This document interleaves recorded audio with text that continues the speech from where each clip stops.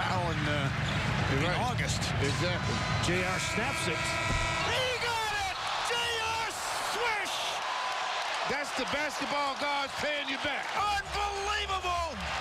He hit it from about 65 feet across his body as he hit it from Gary, Indiana. Watch it Damn. again.